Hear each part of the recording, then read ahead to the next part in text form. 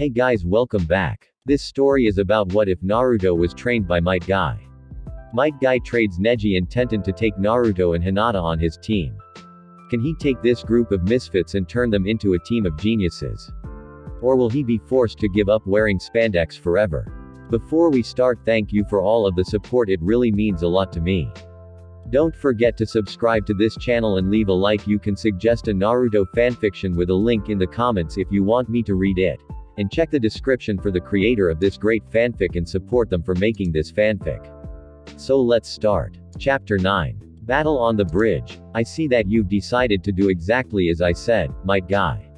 I'm kind of surprised. Zabuza's voice resounded throughout the thick mist. Where are you? Where's Lee? Guy shouted as he looked around, unable to spot anyone. Guy sensei. I'm right here. Lee's voice came from straight in front of him.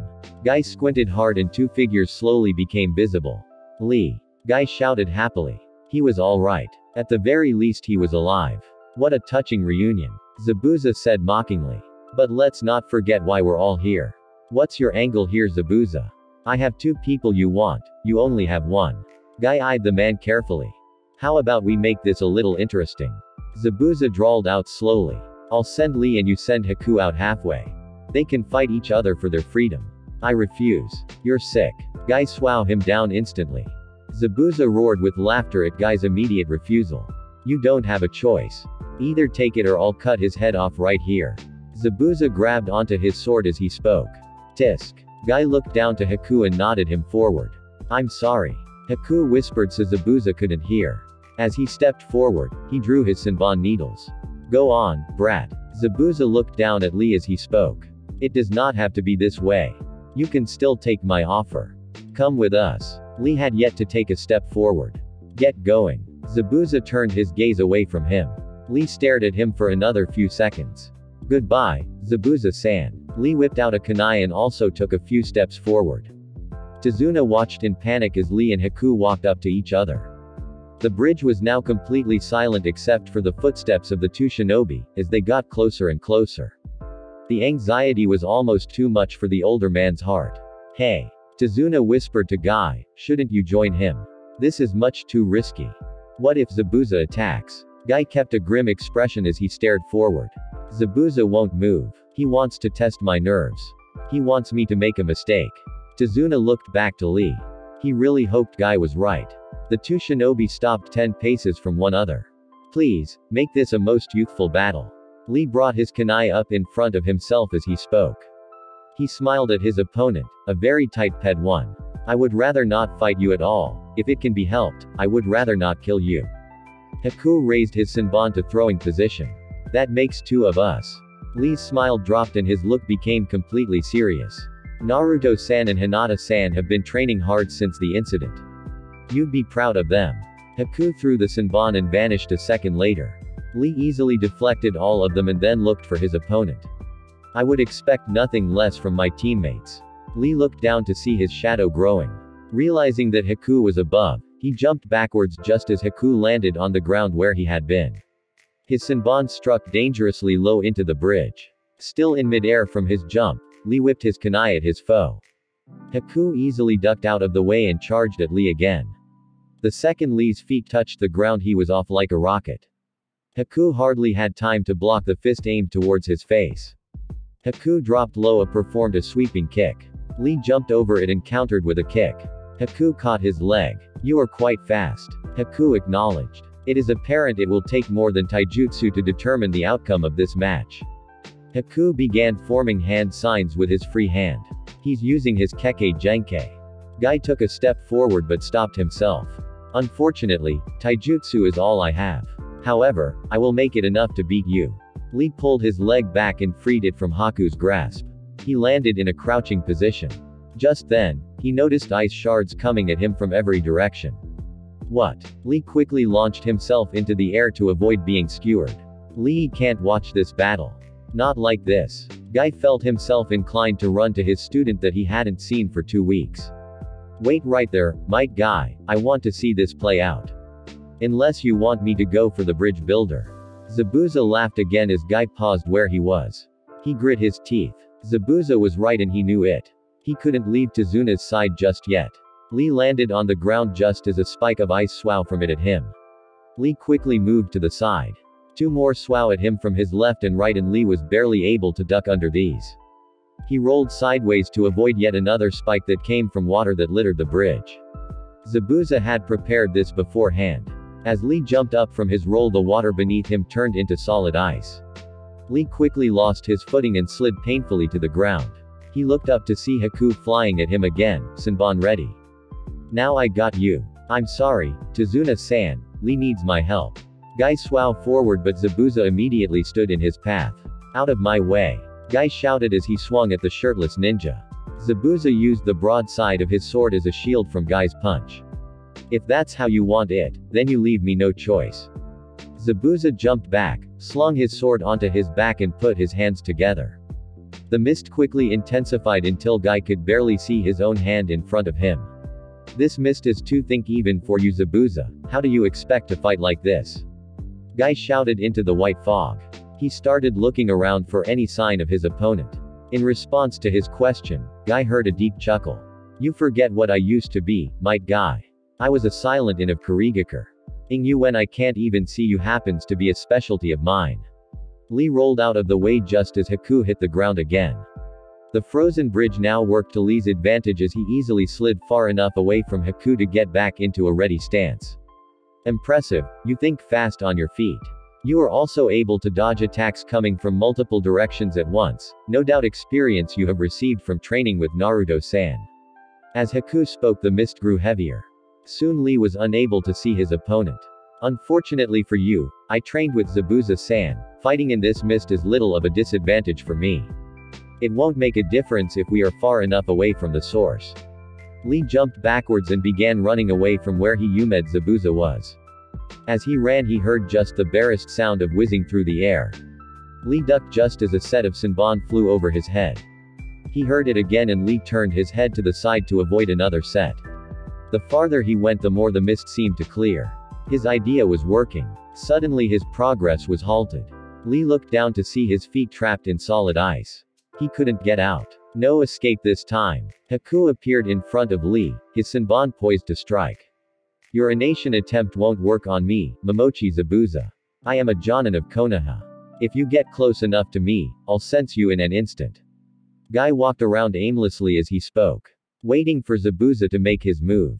Guy would be ready. You may have a point there. Too bad there is another man here who doesn't have the same S as you. Guy paled when he heard Zabuza's threat. Oh no. Guy began running for where he knew Tazuna was. He had to make it. There was no way he couldn't. Guy was just barely able to make out Tazuna's form now. Then he saw it. A giant blade cutting through the mist. He wasn't going to get there in time. Tazuna-san, move. Guy only hoped he would react in time.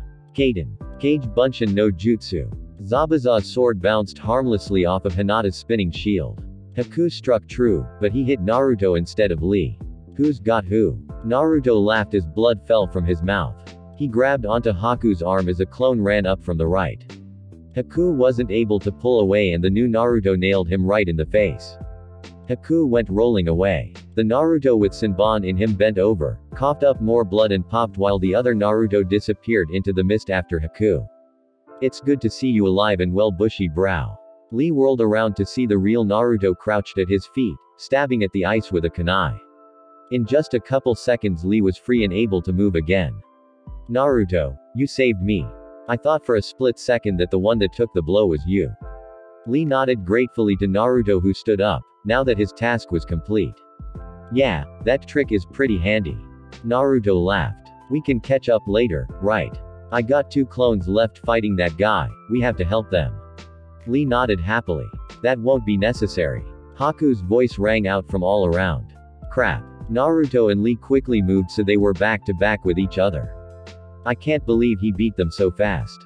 One second they were there and the next they just died. How did he do it? Simple, don't you see? You are already trapped inside my jutsu. The mist around them cleared enough that Naruto and Lee could see they were completely surrounded by mirrors. There was a Haku in each one. What the? Zabuza nearly lost his grip on his sword as it bounced backwards. The spinning shield that had deflected his blade disappeared to reveal Hinata slowly stopping her spin. You. You think that pathetic jutsu will be enough to stop me? Zabuza brought his sword back up. Konoha Senpu. Guy landed a powerful kick into Zabuza's stomach. Zabuza was launched backwards into the mist, where he disappeared from sight. Guy landed in front of his student. Hinata, nice work. I trust there were no problems. Guy looked back at his student. Tazuna-san's house was attacked by a couple of samurai before we were able to leave. We think they were Gato's thugs. Hinata said, looking ready to spin if Zabuza showed himself. What? Is my family okay? Tazuna interrupted. Hinata nodded. They are fine. The samurai were trying to kidnap your daughter but Inari stood up to them. He gave me and Naruto-kun the perfect distraction to sneak up on them and take them out. After we got them we hurried here as fast as we could. Thank goodness it appears we weren't too late. Where is Naruto? I don't see him around. Guy glanced around briefly for his other student. He's here, but he stopped to aid Lee Senpai. Hinata answered quickly. Excellent. Your fires are burning brightly. Guy gave Hinata the thumbs up before he turned serious again. Listen, Hinata. Don't leave Tazuna's side no matter what. I will fight Zabuza in the mist alone. Can I count on you to make sure Tazuna is safe? Yes sensei, I won't fail you. Hinata stood firm. Good, be careful. With that, Guy charged into the mist. Alright, Zabuza, it's time we settle this. Fine by me, I'm going to make you regret those words. Zabuza shouted from within the mist. What the is this? Naruto shouted. He and Lee were still back to back. You didn't mention that you were capable of making this many mirrors. Not to mention that you can make one of you in each mirror. Of course not. A true shinobi never reveals his secrets while not in a battle. The results could be fatal. All the reflections moved as one as they reached into his back pouch. Are they clones? Lee eyed each one extremely carefully in an attempt to decipher even a minor difference. No, they're not clones. Haku answered now. They are merely reflections. Now then, it's time I show you what real speed is. Each Haku lifted a single Senbon. In an instant, dozens of needles littered the floor. Naruto and Lee now had scratch marks everywhere. It happened so fast it took both of them an instant to realize what had happened. When they did, they both fell to the ground in agony. What the? Naruto gasped. That attack came from everywhere at once. Those must be clones. No, that was an extreme speed. I should have taken my leg weights off. Lee started to reach for them but a Senbon pierced his hand. Lee drew it back quickly. There will be no need for that. Haku said. I'd prefer you guys just lay quietly and give it up. Like. Kage Bunshin no Jutsu. Three more Narutos popped up. Okay bushy brow, if we can't keep up in here then we just gotta bust out. Let's make a run for it. Right. Let us go. Lee got up and started running. Naruto and his clones did the same, each of them went in a completely separate direction. It's pointless. Haku vanished from the mirrors for a second. In that second Lee, Naruto and his clones were all thrown backwards. They had hardly gone more than a few feet. You have trained quite hard these past two weeks in order to make sure your clones wouldn't pop upon receiving damage. I'm sorry to tell you that all the training was completely pointless, Naruto-san. Go to, Haku. Naruto picked up a needle that was laying on the ground. For being so fast, your aim really is. Not a single one of these has nailed us directly. Is that so? Haku asked. In the next instant, Naruto had three Senbon in himself and each of his clones. Each one slowly fell over and popped. It. Naruto slowly stood back up. Kage Bunshin no Jutsu. Three more clones popped up. Again, bushy brow. Naruto and his clones started running. Right. Lee also began running for an exit. You are trying my patience. Haku flew for Lee first. When he was knocked back he went for the Narutos. He nailed the first one in the throat, forcing it to pop. Haku landed in a mirror and immediately jumped for the next one. He stabbed it and it also popped. Haku turned to get the next one but one of his own Senbon flew right in front of his face. Haku backtracked quickly into a mirror before jumping back out and quickly knocking back the other two Narutos. It. I almost had him.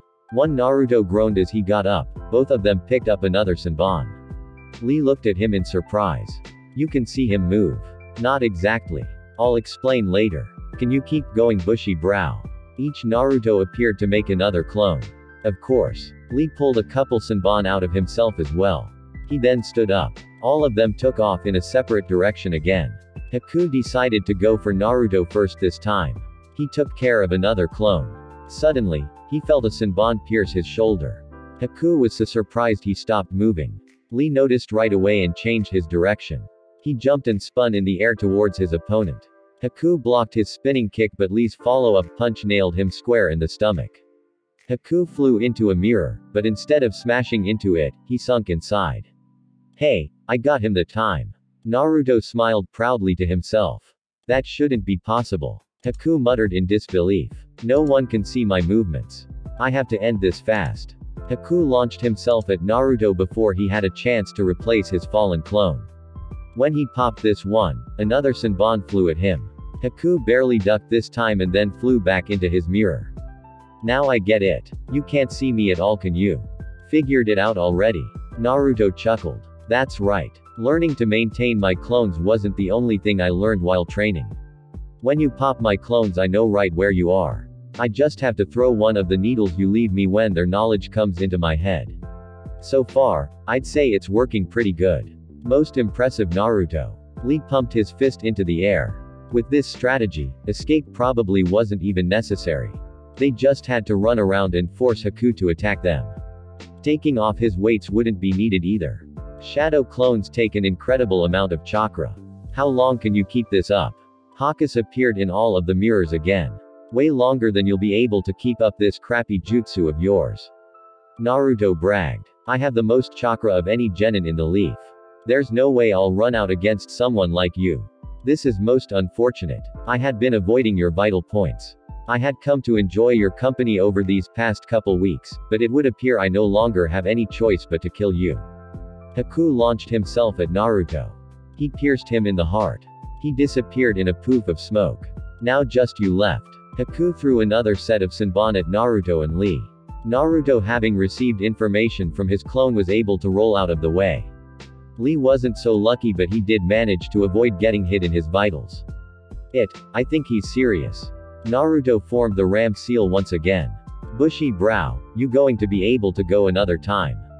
Naruto looked with worry over at his teammate.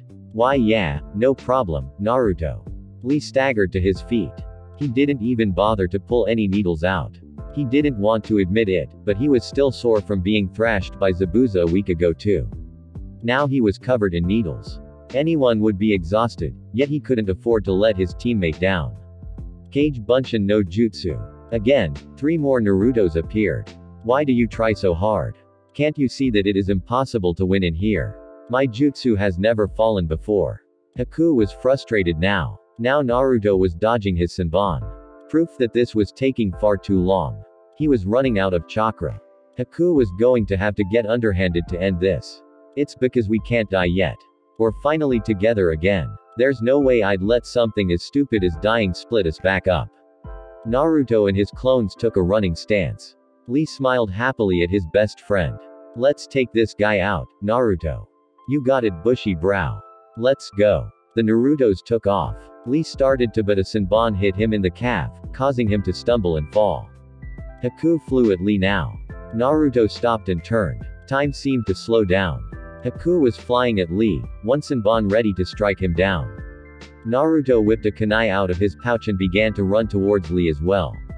Haku was too close. He was going to strike.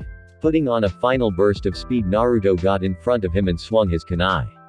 It impaled Haku in the stomach. Lee looked up to see Naruto standing in front of him, a Senbon run through the side of his neck. Haku was bleeding hard from the stomach and he appeared to be coughing up blood.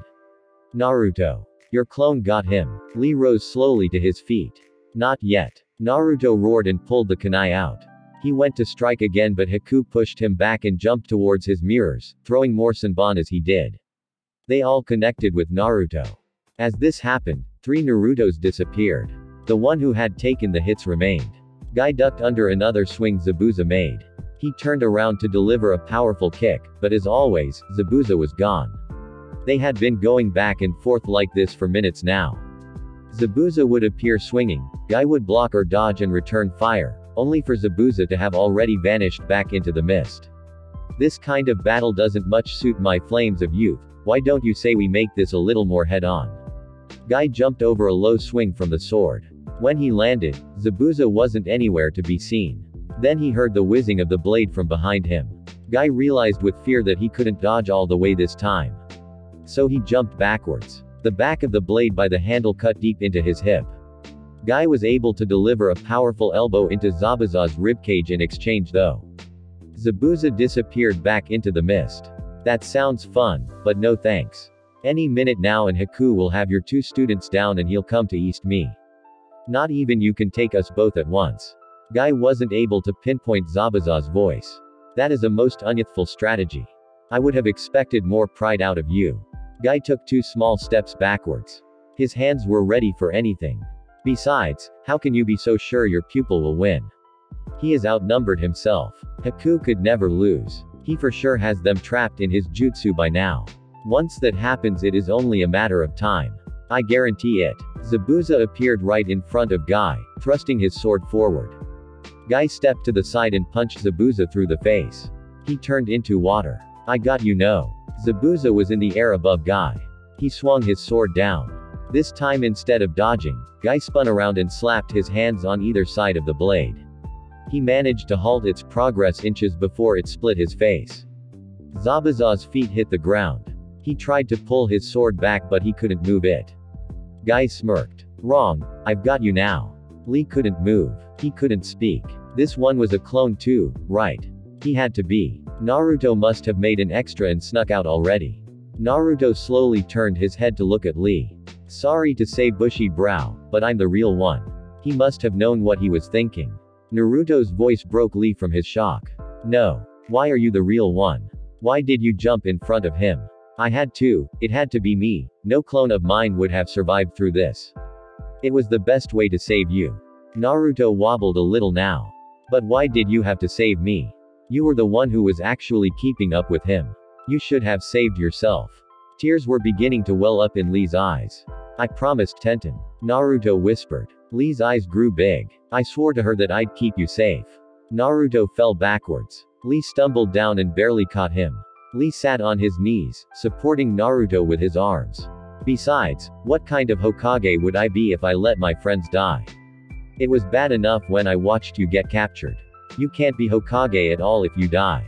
Tears fell freely from Lee's face now. What was all the talk about nothing separating us? Were those just empty words? Naruto smiled slightly up at him. It's funny. He completely ignored Lee's questions. I didn't think anyone would cry for me when I died. Naruto's voice almost sounded relieved. The whole village, they hated me you know. Even our generation. They all looked at me like I was going to destroy them. I didn't know what I'd done to deserve it until just before I became a genin. I want you to know too. This was it. The secret Lee had wanted to hear since he'd met Naruto. Lee had spent hours in the library. Days, asking people to just try and get one more hint. Now he was about to get it. But he didn't want to know now, not like this. No, Naruto. Lee choked out. Conserve your strength. If you stop speaking you might still be able to live. Naruto ignored him. It was because of the Kyuubi no Yoko. It was sealed inside me as a baby. Lee's tears hit full force now. It all finally made sense. He had all the clues but he hadn't even been able to put it together. Now it was almost too late. Naruto, please, stop. Lee begged. It does not matter, I accept you regardless, Hinata and Guy Sensei still do as well. We do not care if you have a demon inside you, just live. Naruto felt tears start to s out of his own eyes as well now. His voice came out hoarse. Meeting you guys was the best thing that ever happened to me. I would rather die and never become Hokage than lose one of you. Thank you, Lee, for being my friend. Naruto closed his eyes and went limp right in the boy's arms. Naruto. Lee put his face up to Naruto's chest. He didn't have a pulse. This is the first time you actually used my name. Why did it have to be the last thing you ever said to me? Lee's voice was muffled by Naruto's jacket. Naruto. Lee screamed to the sky. Naruto lived a hard life. To have no one is to have no purpose. Meeting you, gave him purpose. Naruto and I were very much alike. He was just as much prepared to become a real shinobi as I to do that, you must accept death.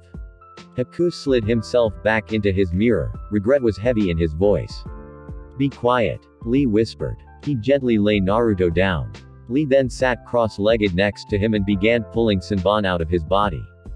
Blood spurted with each one but Lee kept going. Soon, Naruto's body was free of them. Lee closed Naruto's eyes and then began to pull the Senbon out of himself. Naruto. Lee grit his teeth as he pulled one out. Haku just watched him silently, he owed him at least that. You were my best friend. I am hurting so badly right now that I cannot even describe it. Lee finished pulling off the Senbon and then removed his leg weights.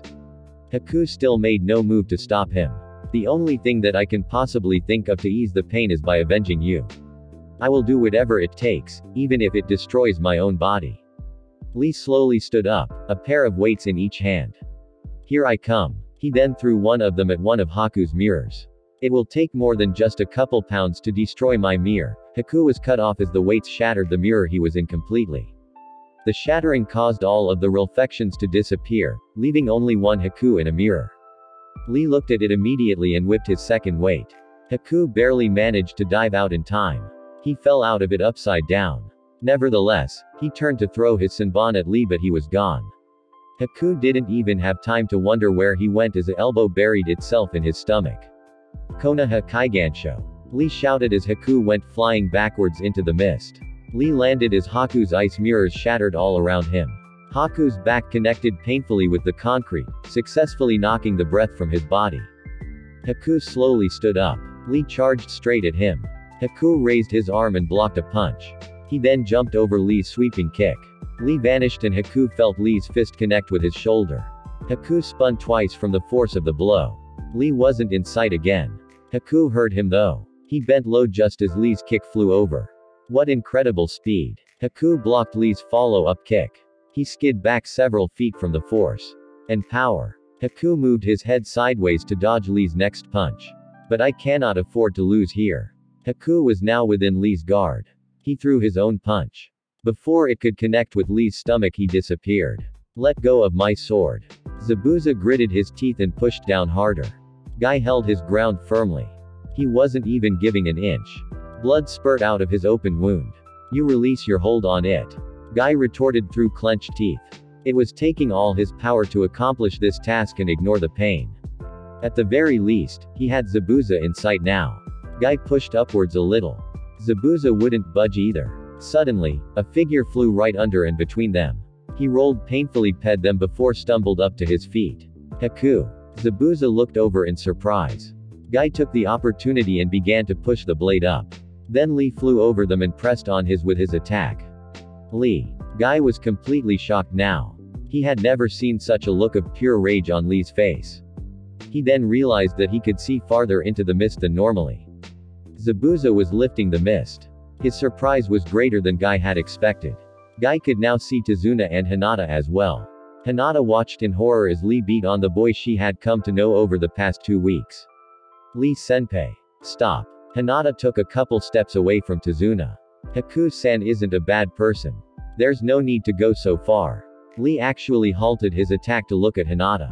Haku leaned painfully against the railing and rubbed his bruised cheek. Despite the apparent aggressive alt Lee was giving, hardly any of his blows were more than glancing. He was too worked up to fight properly. A fact Haku was using to stay alive at the moment. He is not a bad person. Lee asked in disbelief. Hinata could do nothing more than look at him in confusion. He is the worst kind of person. Lee shouted, pointing a dramatic finger at Haku. He, he Naruto. I can never forgive him for that. Lee balled his hands into fists. It's time. Lee then widened his stance and stuck his arms in an X in front of himself. The world stopped for Guy and Hinata. Their thoughts ran exactly the same. Naruto was dead. Impossible. Lee had just been caught in the heat of battle and had misjudged. There was no way he was dead. First gate. Lee called breaking them both from their reserve. Guy finally had the peace of mind to say something. He let go of Zabuza's sword and dodged out of the way as it came crashing onto the ground. Zabuza stumbled forward from the unexpected shift. Lee, wait. He took only a couple running steps. Open. It was too late. Lee vanished for a second and then he and Haku tumbled off the side of the bridge. Guy stopped running. There was no point following him. He had Zabuza still to fight. Well, well. Seems like Haku did pretty good. Too bad for that kid of yours. Zabuza chuckled to himself as he swung at Guy again. Guy held up his hand and this time stopped the blade with one hand. What? Guy's back was still turned to Zabuza. You'll pay for that comment. Guy said darkly. He spun around and nailed Zabuza in the side of the head with a strong kick. Zabuza stuck his blade into the ground to keep himself from skidding. Zabuza regretted the decision. He was still close enough to see Guy's face clearly. The look of pure rage was something more akin to a devil than Zabuza had ever seen. Guy reached into his back pouch causing Zabuza tensed up. Guy pulled out Nunchaku and the demon ninja let out a sigh of relief. You plan to beat my big sword with that small thing. Zabuza had to suppress a laugh. Guy didn't even respond this time. Instead he swung his weapon around. Suit yourself. Zabuza hefted his mighty blade and charged. Scary looking or not, he was going to split him in half. As he came to Guy he swung down. Guy swung his weapon to meet Zabuza's sword. The result was Zabuza's sword being knocked completely backwards. What the? Zabuza's speech was cut as Guy slammed the two poles together and then thrust them into Zabuza's face. Gah. Zabuza held his face with one hand. The other still held onto the sword. You'll pay for that. Guy vanished. Apparently you didn't hear me. Zabuza's eyes grew wide. The voice was right behind his ear. It is you who will pay. Zabuza had no chance to move as his ribcage lit up in burning pain. He spun around swinging his blade. Guy knocked it back with his nunchaku again. Another swing around and one of the wood poles slapped Zabuza in the side of the face. The force sent Zabuza to the ground. Zabuza slowly started to stand up. Is that the best you can do? Guy's foot connected with Zabuza's stomach, lifting him completely from where he lay and into the air. Guy swung his weapon around again. Zabuza barely blocked with his blade. The force sent the still airborne Zabuza flying back a few feet. He landed and skid on the ground. Guy took a step towards him. Zabuza's eyes grew wide with fear. Stay away. He reached into his pocket and pulled out four shuriken. He whipped them all. Three of them nailed Guy in the torso. One nicked him in the cheek. It started to bleed freely. Guy wiped the blood off of it and looked down at it. You disappoint me. I thought the bloody demon of the mist would pose a bigger threat than this. Zabuza felt his fear increasing. The man had lost it. He took the blow of those shuriken without even blinking. Guy vanished and reappeared in front of Zabuza. His nunchaku were already coming around. Zabuza blocked with the handle of his sword. He then pulled out a kunai and stabbed at Guy. Guy stepped back but it was too late. Zabuza struck right in between the ribs. Guy coughed up blood. I'm not done yet. He swung his nunchaku again. Zabuza again blocked with his blade. He then pulled his kunai out before taking another stab. Guy jumped back and successfully dodged this time. So the cornered demon gets desperate. A good strategy though. Blocking with that big sword of yours and then slicing at me with your speedy, small kunai. It worked the first time but it won't help you anymore. Guy began his alt again. Hinata was blind to everything that was happening in front of her. The second Lee fell off the bridge, his words resounded in her head. She needed to see it for herself. Tazuna put his hand on her shoulder. Hey, take me to him. I want to see him too. Tazuna's voice was solemn. Hinata nodded her thanks, grabbed Tazuna's hand and led them past the two fighting ninja. It didn't take long to make out Naruto's body in the clearing mist. Hinata gasped at the sight she saw. His body was covered with little bloody holes. Dozens of Senbon and shards of ice lay all around him. Tazuna doubted he would have even needed his glees to confirm the boy wasn't breathing. Hinata knelt down to check anyways. He had no pulse, as she already knew. Hinata bit back her tears. You don't need to hold them in for me. Tazuna began wiping away his own tears. It, look at him. Smiling even in death. What Tazuna said was true. Naruto's mouth was curved upwards, even from the way he lay. Hinata stared down at Naruto. So many things were running through her mind. Finally, words started to come to her. I loved him, you know. Tazuna stared at her silently. I've loved him for a long time, I think. I only just realized it recently though. It had started out as admiration. I wonder when it turned into something more. Hinata smiled bitterly at how pathetic she was. This was the first time she had ever confessed aloud and he wasn't even alive to hear it. I was so happy when we were placed on the same team, I thought I could have died right then. It was a good thing I didn't. I had so many new experiences with him. Tears finally started to fall from her eyes. They hit Naruto in the cheek. Sometimes he was a real idiot. But I fell even more in love with him because of it. Tazuna's tears picked up as Hinata kept talking. She slowly began rubbing his cheek. Just recently, we made a vow to each other. I was going to become the heir to my clan. He was going to become Hokage. We were both going to get the respect we wanted. Hinata wiped away her tears. She shuddered for a second. It, Naruto. Hinata shouted. Tazuna looked at her in surprise. Who is supposed to become Hokage now? Hinata screamed as she banged a fist on his chest.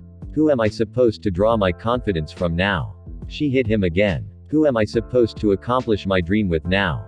She hit him once more. Her last question came as little more than a whisper. Who am I supposed to love now? No fist followed. Instead, Hinata broke completely down into tears. Haku and Lee both landed on the water at approximately the same time. There was no mist down here at all. Instead, the clear blue sky and bright rays of the sun shined down on them. Something completely unfit for the battle that was taking place. Neither shinobi paid any attention to the nice weather though. They were squaring off. Lee sent a flying kick at Haku. A wall of ice rose and Lee nailed that instead, leaving a huge crack. Lee disappeared and reappeared behind Haku. This time a hand of ice swam from the water and grabbed Lee's forearm, stopping his punch completely.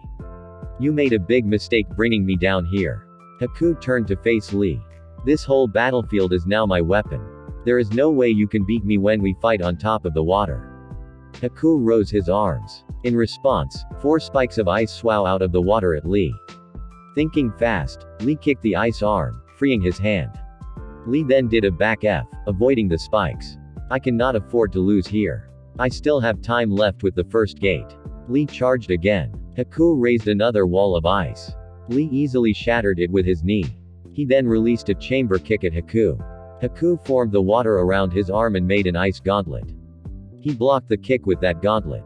Lee landed on the ground and the water crawled up his feet and froze. Lee was stuck again like he was up on the bridge. I'm sorry, but this is it for you.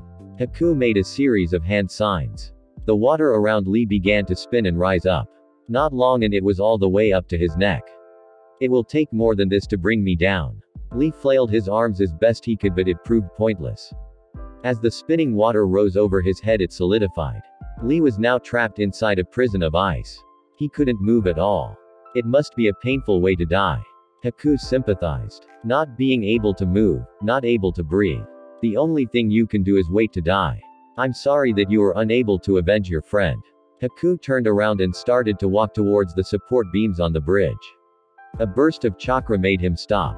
Haku turned around in surprise. What he saw was an even greater surprise. Lee was glowing and the ice began cracking. Impossible. Haku murmured as the ice shattered completely with a loud bang. Second gate. Open. Lee said triumphantly. He touched the water and vanished. His fist connected with Haku's cheek, knocking him back.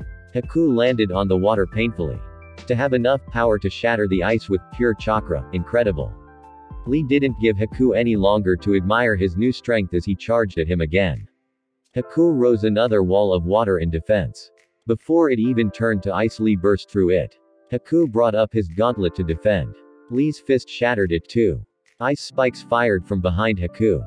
Lee jumped backwards to dodge them. Wasting no time, Haku raised his hands. A giant wave of water formed all around him. Meanwhile, spikes of ice swow continued to shoot at Lee. The water began to bend inwards. Soon, Haku had himself encased in a giant dome of water. The water turned to ice and Haku sat down and breathed a sigh of relief. You cannot hide from me. Lee shouted. He flew at the dome and nailed it with his most powerful kick. The ice didn't even crack. Lee jumped back and did it again. He then followed the second kick with a punch. The ice still didn't give way. You won't be able to break this ice. It is much thicker than my mirrors. Also, once this dome is complete it takes no chakra to maintain. While your gates and chakra exhaust out there I will be recovering my chakra in here. Haku sat cross-legged in the center of his dome. He had spoken more to himself. There was no way Lee could hear him from in here. Soon, Lee's blows stopped. Haku smiled and stood up. It was time to end this. Then it happened. The top of Haku's dome shattered. Lee fell through and landed in a crouch right in front of him. That shouldn't be possible. Haku slid backwards on the Spiri dome floor. How did Lee know that the weakest point of his dome was the top where the water had merged? Anything is possible if you set your mind to it. Lee jumped at Haku, his fist extended. A spike of ice swam from the floor, blocking Lee's fist. Lee slid backwards as three more spikes swam upright where he had been standing. Lee then slid himself forward. He jumped over another spike that appeared. Stop this. The dome is made of ice. Surely you see the hopelessness of this struggle. Haku yelled as he ducked under Lee's kick. Haku slid to the center of the dome. He rose his arms and spikes fired from all around at Lee. I told you, anything is possible. Lee vanished and all the ice shattered uselessly against itself. Haku looked downwards just in time to see Lee's foot fly up at him. In connected with his chin and launched him outside of the ice dome. Just as Haku's flight skyward stopped, Lee appeared behind him. The bandages on his arms wrapped themselves around Haku. They pulled tight, Haku could no longer move. Lee grabbed onto him and as they fell Lee began spinning quickly. Haku realized with fear that Lee intended to slam him into the dome he'd created to defend himself. Haku closed his eyes and focused hard. The ice began to melt. Willing it to melt faster, Haku was barely able to make it all vanish before he and Lee nailed the water. However, without the ice there, Haku and Lee drilled deep down into the water. Haku's ears popped from the pressure of going so far down. Soon their descent slowed. The now wet bandages snapped easily with a slight tug from Haku. He kicked off of Lee and began swimming towards the surface. Third gate. Open. Haku felt another boom of chakra. He turned around in disbelief. Lee started kicking with all his might. He flew at Haku like a rocket. Haku didn't have a chance to move out of the way as Lee nailed him in the shoulder. Haku swung around in the water. Right when he stopped spinning, he felt Lee nail him again in the back as he swam by again. Haku couldn't even tell if Lee was punching him or just plain ramming him anymore. Even scarier, Haku realized he had lost his bearings. With all the spinning, Haku didn't even know what way was up. Suddenly, Lee nailed him again. Haku watched the way the bubbles went that Lee created. Haku knew which way to go now. He formed a quick set of seals. A pillar of ice formed beneath his feet and started shooting upwards. Haku looked out of the corner of his eye. He saw Lee flying upwards towards him. This was going to be close. Haku barely broke the water before Lee did. He channeled all the chakra into his feet and jumped. Combined with the pressure of breaking out of the water and Haku went higher than he had expected. He looked down to see the bridge was well below him. Haku's relief turned into pure terror as he felt Lee grab onto both of his ankles. It is over. Lee roared. He began doing a series of front F, taking Haku along for the ride. When he released his hold, Haku was flung towards the bridge at an alarming speed. Zabuza had been one of the best swordsmen in his village. Even among the seven that he was a group of he was considered one of the best. It was rare in his life that he met someone who outclassed him in S with a weapon. For this crazy green beast to be someone who was better than him was of great insult to Zabuza. It I'm going to tear you to shreds. Zabuza roared. He charged and stabbed at Guy with his kunai again. Guy ducked under the kunai, stepped forward and swung his nunchaku upwards. The pole connected with Zabuza's chin. You won't be tearing anyone else to shreds ever again. Guy swung his nunchaku around and nailed Zabuza painfully in the back of the knee. Zabuza dropped down to his knees just as a crash appeared further down the bridge. Both shinobi looked to see Haku laying on the ground. The boy started to stumble up but collapsed. Lee soon fell down onto the bridge too. He landed but then he too stumbled. The gate's effects had worn off. Seems like this is it, Momochi Zabuza, for you and your pupil. Guy swung his nunchaku back into his pouch. For ending my student's youth, I plan to take yours. Guy ed back his fist in preparation. Zabuza could only look at it in fear. This fist would definitely not be one he could survive. Haku's vision blurred back just in time for him to see Guy bring his fist back. Haku again attempted to stand up. It. Haku cursed. His arms were broken. He had used them to shield himself from the impact onto the bridge. He was alive but the price had been heavy. Haku barely managed to get to his feet. He could make it. As long as his feet worked he would be just fast enough to intercept that punch. Juken. Haku's vision blurred completely again. He coughed up blood and then fell to his knees. Zabuza-san, run. Haku fell to the floor, unconscious. Hinata stood behind him. Her open palm was still extended outwards. Her Byakugan still active. I believed in you, Haku-san. I really did. Her face was still stained with tears. A sudden movement in the mist caught the attention of her eyes. Guy sensei, behind you. Guy spun around at Hinata's warning. A man with a spear appeared out of what mist was left and charged at him. Guy grabbed it as the man thrust it at him. A sneak attack. Most unyouthful. Guy snapped the spear and then grabbed the man by the throat and slammed him into the ground. Zabuza smiled. He didn't know who the man was or where he had come from but he gave him just the opportunity he needed. Zabuza stood up and hefted his sword. He was going to hack Guy in two. Don't even think about it.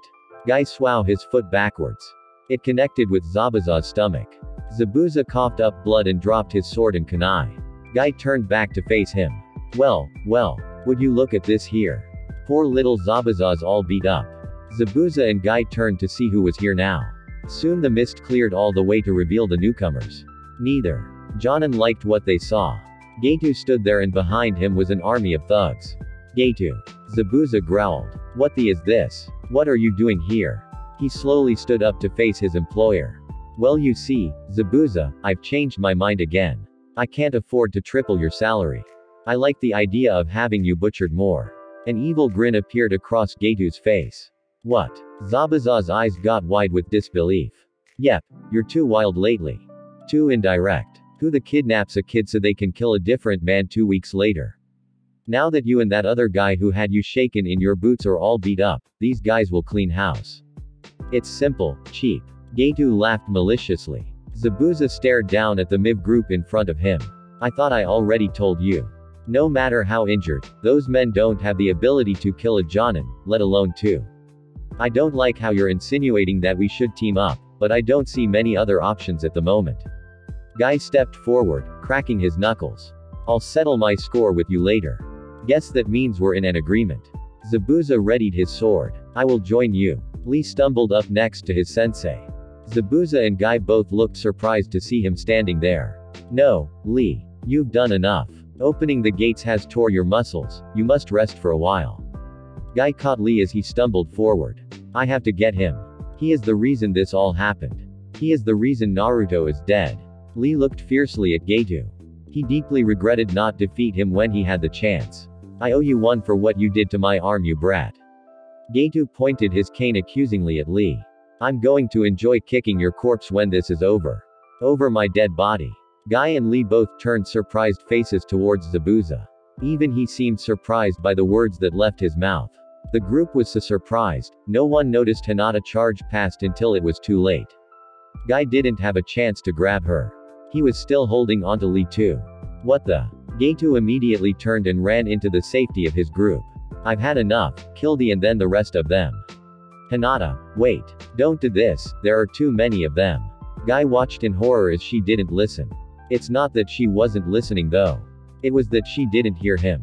Lee's words of how this man was the cause of Naruto's death rang true through her ears. She was going to pay him back in full. No matter how many thugs were in the way. Alright, I get dibs on the girl. One man stepped forward with a sword in hand. Before he could even react he had a full Juken strike through his heart. What the? The man coughed up blood and fell backwards. The rest of them paused and stared in shock at what happened. Hinata didn't stop though. She sprinted into the heart of the group. The men quickly got over their shock and started swinging whatever they could at her. She dodged and weaved through every strike, throwing in her own here and there. Soon though she was completely surrounded and they all swung down at once. Kaiten. All the thugs in the immediate vicinity were blasted backwards. Most of them fell on top of others, leaving more than half of them sprawled out on the ground. Some of the men were impaled on weapons that they fell on. More than enough were down to give Hinata a clear gap to her target. Gato reached the edge of the bridge and turned around. To his horror, all his guards were knocked down and the girl was coming straight for him. Wait, please stop. I'll give you anything you want. Money, power, men, you name it. Gato held up his arms in front of his face. Then give me back Naruto-kun. Hinata struck Gato in his broken arm. Gato howled in pain. Can you do that? Hinata's next strike hit his shoulder. Is it within your abilities to bring him back to me? Hinata sent a Juken into his gut. Please. Gato begged as he doubled over. He had never felt pain like this in his life. His plea fell on deaf ears as Hinata's arms became encased in blue chakra for a split second. Juho Soshiken. She nailed Gato right in the side of the head, defeat him and sending him off the ledge. Hinata stood there, panting. She'd done it. She'd got to him. You, you'll pay for that. A couple of the thugs were running up behind her. Their weapons raised to strike. It didn't matter anymore though. Not to Hinata. She'd avenged Naruto. She was satisfied. Hinata, no, run. Guy called. Time was in slow motion for him. He watched as the thugs raised their weapons. He let God of Lee and started to run. He watched Hinata stand straight. He watched the weapons fall. Guy had no time to do anything. Even he wasn't that fast. He'd failed not one, but two students. Hinata closed her eyes and waited for the blows to come. They never did. Instead she heard a loud clang as all their weapons were deflected. She spun around in surprise to see Zabuza standing there. His sword had saved her life.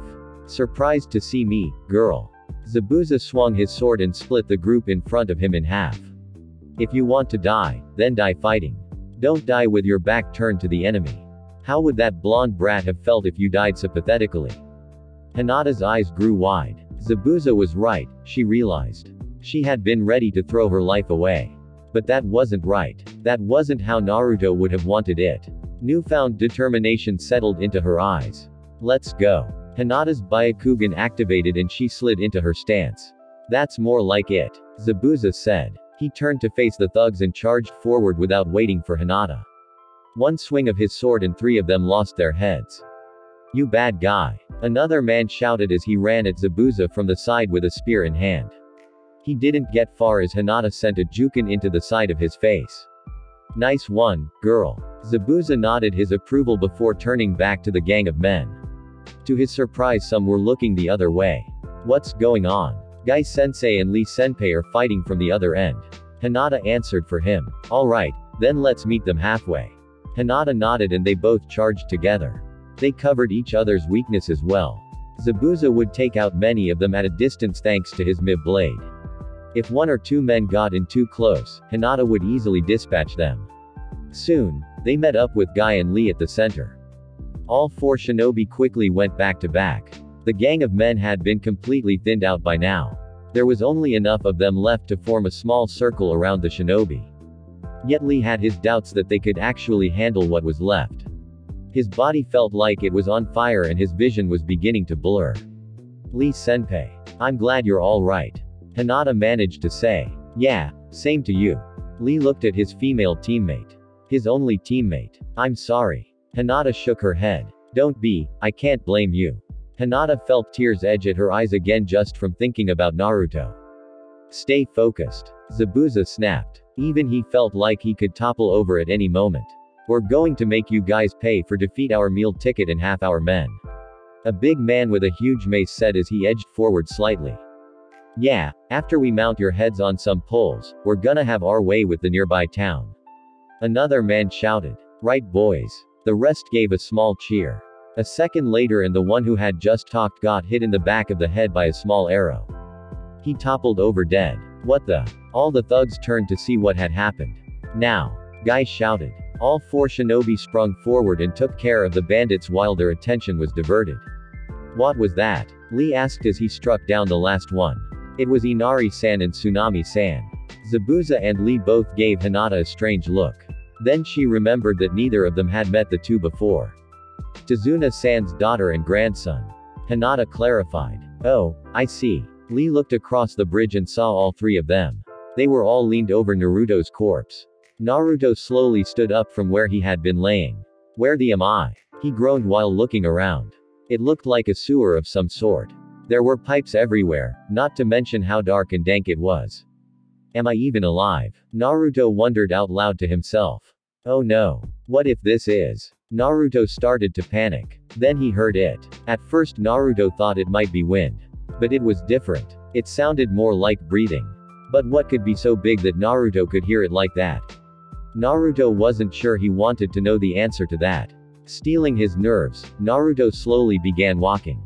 At first, Naruto was afraid he was going to get lost, he made numerous turns just to follow the source of the breathing. Then Naruto almost laughed to himself. Lost. He had been lost since he got here. Soon Naruto came to a huge room with a gigantic cage on the other end. The word, seal, was written on it. Naruto was impressed by the MIV size. Ah, Naruto jumped. Who's there? Show yourself. Naruto shouted. So my idiot host has finally come to see me. Naruto located the sound of the voice. It was coming from behind the cage. Naruto peered at it but couldn't see anything but pitch darkness. So he edged closer. Soon he was just a few feet from the cage. A MIV-eye opened up and a claw swung to the edge of the cage. What the? Naruto jumped back in surprise. What are you? Where are we? Naruto shouted his questions at it. You fool, you should know who I am. The eye roared. No way, don't tell me you're the devil. On man, this really s, I knew I was in. Naruto balled himself up onto the ground and started rocking back and forth. You're not in dead. We are simply in your mindscape. Naruto looked up in surprise at the MIV-eye. I'm not dead. This is my mind. Naruto slowly stood back up. Then what the is something like you doing in my mind? Naruto pointed an accusing finger at the eye. You really are an idiot. The eye roared at him. Then Naruto saw it. The barest fair of a tail, of several tails. You, realization dawned on Naruto. You are that bad guy Fox. Why I oughta kick your right now. Naruto was quickly overcome with anger. This was the thing that had caused him misery for his whole life. This was why he never had friends. Now he could see it, right in front of him. He could just strangle it he was so pissed. The fox roared with laughter. Go ahead brat. Rip this seal right off and you and I can have a good round. Naruto eyed the fox carefully. What happens to you if I die? Naruto finally asked. The fox's eye widened in surprise at the question. Vacuuming I am still sealed inside a twerp like you, I'd disappear for a while. But you'd come back. How long would it take? Naruto scratched his chin in thought. One year. 100 years. Not even I would know that. Why does an idiot like you want to know? Naruto's questions confused the fox. So if I was in such a tough battle why didn't you help me out at all? Surely a big lug like you has some chakra to spare. Naruto pointed another accusing finger at the fox. Fool. Naruto was taken aback by the fox's newest insult. I sensed no animosity or defeat intent. If your life had been in danger I would have known it. That is why I didn't need to give you chakra. Naruto was about to say more but a drop of water hit him in the face. Did you just spit on me? Naruto asked in disgust. Two more drops hit him. No. The outside world is calling you back. Our conversation is over. The fox began to retreat farther into its cage. Hey, you fox. The fox turned its eye towards Naruto. I'm not an idiot. My name is Uzumaki Naruto and I'm going to be Hokage. Remember it. Naruto had been fading as he spoke and when he had completed his sentence he disappeared altogether. Naruto, the fox whispered. I'll definitely remember it when I'm ripping you to shreds. The fox grinned, revealing its MIV teeth. Naruto hurt like all over. He slowly began to open his eyes. He had to close them when something wet hit them. That stings. Naruto Ed. Naruto. Naruto recognized that voice. What's up, Inari? Naruto completely opened his eyes to see the shocked and teary face of the boy. He also saw Tazuna and Tsunami. You, you're alive. Inari was in complete shock. Dummy, of course I'm alive. Naruto began to sit up. I can't die until I become Hokage. No, don't strain yourself. Tsunami cautioned. How is everyone? Naruto ignored Tsunami and kept rising. They're all right. Tazuna answered while wiping his own tears away. Gato and his men showed up and we teamed up with the those missed nin to beat them. Really? Man, that's going to take some explaining. Naruto was now standing. He looked over towards where his teammates were. He then looked over at Inari. What's with the getup? The boy was wearing a bunch of kitchenware like it was armor. I came to help out. Inari said proudly as he hefted up a tiny crossbow. I tried recruiting others in the village but they were all a bunch of scared white cats so I went to leave by myself. Of course, mom wouldn't let me so she followed. Naruto turned and looked at Inari's mom. She held a frying pan nervously. Hinata. Inari called over. Naruto. He's, Naruto is alive. Both of them looked over immediately. They saw Naruto standing there now, his eyes open. He slowly stuck his arm up and gave them a small wave. Naruto-kun. Naruto. Hinata felt new tears returning to her eyes. She couldn't believe it. Naruto was alive. She ran up to him as fast as she could. She slowed to a stop just in front of him. How's it going? Naruto tried to smile casually at her. Naruto-kun. Hinata leapt forward and gave Naruto the hardest hug she ever had in her life. She sobbed his name over and over into his shirt. I missed you too, Hinata. But your hug is crushing me. Naruto managed a pained smile as he patted her head. Lee stumbled a little. His muscles were still sore. It hurt to move, let alone run like he was, but nothing was going to stop him from reaching Naruto now. His best friend was alive. He was nearly there when he stumbled again. He fell right into his other two teammates and they all fell over together. Ow! It bushy brow. Naruto Ed. He was at the bottom of the group. Sorry, Naruto. Lee grunted. Naruto couldn't help it, he started laughing. Lee looked down at him in surprise. Then he too started laughing. Hinata soon joined in, her tears ran down her face as she did. Looks like it worked out for everyone after all. Zabuza mumbled as he began to fall forward. He was exhausted. Too exhausted to even think about continuing his fight with Guy. That it does. Guy caught Zabuza before he fell and put his arm over his shoulder to support him. I owe you the lives of all my students. Thank you, Zabuza. I don't know what you're talking about. Zabuza looked away from the man who was helping him stand. Lee was a hostage, it would have been stupid to kill him. Besides, I only saved the girl. It was Haku who was too soft. But you were the one who found that boy. If you had found someone else I may have been short a student right now. Besides, I think his softness is rubbing off on you a little. You call Lee by his given name after all. Guy smiled brightly at him. Speaking of your pupil, we should see about getting him medical eye stance soon. Zabuza turned to look at Haku. It'll take more than that to kill Haku. He'll be okay. Guy laughed. We both have resilient pupils, huh? Zabuza looked up to see Lee helping his two teammates up, they were all still laughing. Yeah, we sure do. Chapter 10 Confessions Tazuna had been to awkward dinners before. But this was ridiculous. After the battle at the bridge, the two groups of ninja were taken back to Tazuna's house to receive medical attention. The Konoha shinobi checked out okay with nothing but scratches and a couple deep cuts. Naruto wasn't injured at all. Zabuza had a few cracked ribs and some major bruising but it was nothing he couldn't handle. Haku was the one in the worst condition. On top of his arms being broken, and numerous cuts and gouges he had suffered internal damage to his lungs. He had finally woken up five minutes before dinner was being served and at Guy's insistence, the ex-Kiri nin stayed for it. Which led them into their current predicament. Um, Momochi-san, could you pee the soy sauce, please? Inari was the first to break the silence of the otherwise quiet dinner. Huh. Zabuza looked up in confusion. Then Inari's question registered. Oh, yeah, here you go. Zabuza ped the soy sauce to Inari. Thanks. Inari mumbled as he accepted it. Guy burst into laughter at the exchange, causing everyone but Lee and Naruto, who were immersed in their food, to jump. Not such a bad guy, once you get to know him, huh? Guy reached over and gave Zabuza a hard pat on the shoulder. Even demons know about table manners. Zabuza rubbed the spot Guy patted. Unlike those two students of yours. Hey, we're hungry, dying takes it out of a guy. Naruto said through a mouthful of food. The room grew quiet after Naruto's ill-worded sentence. The only sound in the room was Hinata's chopsticks as they snapped to pieces in her hands. She put her hands on the table and slowly stood up. I'm sorry, I'm not feeling very hungry at the moment. She turned and walked out of the house. Don't worry, Haku never has been good at making friends. Zabuza said offhandedly. Speak for yourself. Haku muttered. What was that? Zabuza looked over threateningly. Nothing. Haku replied a little too quickly. Ah. Naruto started to stand up. Then he paused. Hey, Haku, you haven't touched your food. It looks very delicious. However, someone broke my arms and I find it quite hard to eat without them. Haku attempted to move his arms in their splints to prove his point. They all got it well enough.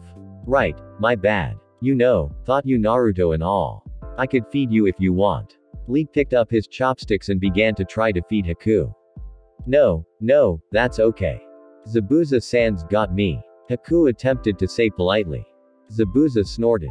A splendid idea. A teacher feeding his student in his time of need. You really are a good guy Zabuza. I'm not feeding him. And don't call me by my first name. Zabuza crossed his arms in defiance. Please, Zabuza-san, I'm really hungry. Haku opened his mouth wide. Tazuna smiled brightly. Finally a chance to get in the conversation. Yeah, Zabuza. Be a pal and feed the poor guy. The look Zabuza gave him shut him up for the rest of the night. That was the last thing Naruto saw as he snuck quietly out of the room after Hinata. He stepped outside and looked around. She was nowhere in sight. Of course this wouldn't be easy. Naruto sighed. Naruto. Lee's voice caused Naruto to jump up in surprise. We have to talk. Naruto turned around slowly to look at his teammate. Look, bushy brow, I got something else to fix first. Once I get Hinata to forgive me, we can settle this. Naruto had a good idea what Lee wanted to talk about and he didn't want to discuss it. No, we are going to talk about the Kyuubi, right now. Naruto hated it when he was right. Good thing it wasn't very often he was right. What's to discuss? I was conscious when you said you accepted me. I don't know a lot of the details myself if that's what you want. Naruto raised his hands in front of himself defensively. Lee shook his head. That is not it. You have to tell Hinata. What? No way. She's pissed off right now, there's bound to be a better time. Besides, what's it matter to you? Naruto shrugged Lee's words off. We are teammates, of course it is important. Lee took a breath. Anyways, Hinata and I can have tried to find out on our own. We did not come up with the answer. We were supposed to find out together. Of course, because of the law, and because I respect your privacy, I cannot tell her myself. Lee smiled sheepishly. You guys what? Naruto's mouth hung open in shock.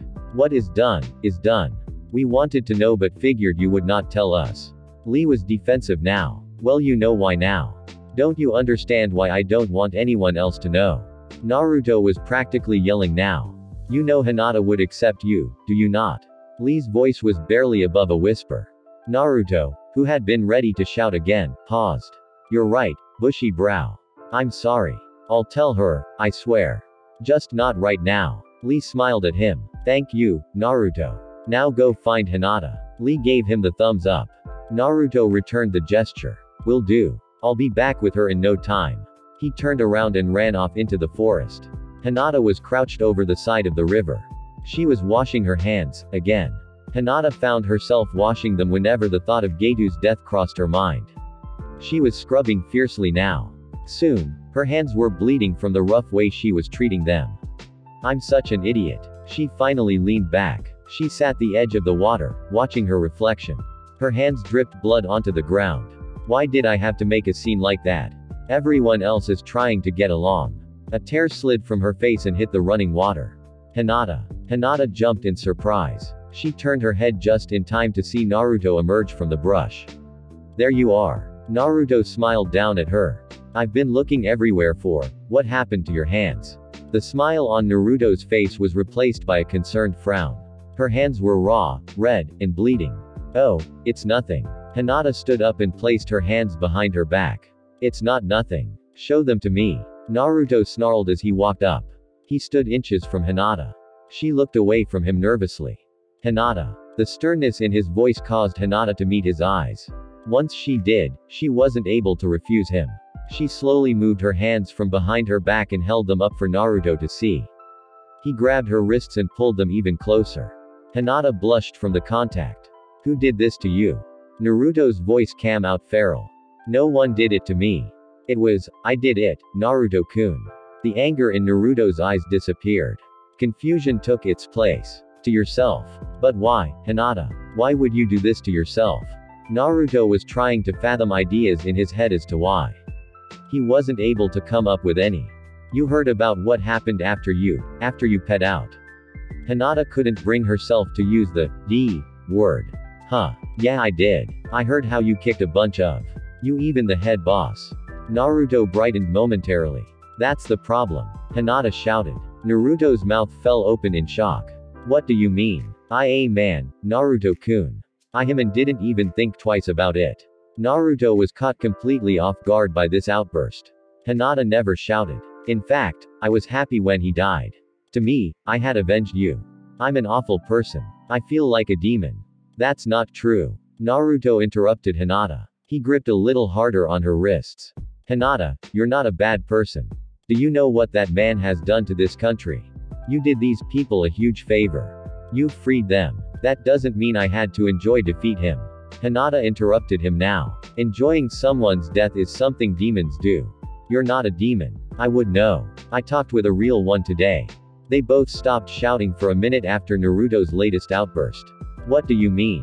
Hinata broke the silence, with a much quieter voice. Naruto let go of her wrists and looked away now. Naruto-kun. When I went under, I woke up in my subconscious. Naruto still wasn't facing her. While I was down there, I met the Kyuubi no Yoko. What? Hinata's head was spinning. The Kyuubi no Yoko. How could you have talked to it? The Yondaime it, unless, that's right. He didn't kill it. He sealed it inside of a newborn infant. Naruto finally met her eyes. Inside of you. Hinata said the words but she wasn't even aware of it. Her mind was in a distant place. All thoughts of Gato and her guilt were gone. Everything snapped into place. Naruto's MIV chakra reserves, the seal, the villagers hate. The law, the reason the villagers hate you. It's all because of that. Naruto didn't see where this was going. A second ago it had been about cheering her up. Well ye, idiots. Hinata lunged into Naruto and hugged him hard. What? Naruto stumbled backwards slightly from her newest hug. The whole village is just a big group of idiots. I can't believe they would treat you that way for something so stupid. Tears welled up in her eyes. If Naruto hadn't been in shock before, he was now. Silence settled around them for a few moments as he let her words sink in. When they did, he burst into laughter. Hinata. Tears stopped momentarily from the surprise. She was about to ask why he was laughing but Naruto finally returned the hug. This motion brought Hinata completely back into reality. She started to blush heavily. They may be idiots, but were sworn to protect them. Naruto released the hug and took a couple steps backwards. He was now an arm's length away. Besides, they're not all bad, some really good people live there too. Naruto smiled brightly at her. It'll be a while before I'll able to forgive any of them. Hinata wiped away the last of her tears. Suddenly another thought hit Hinata.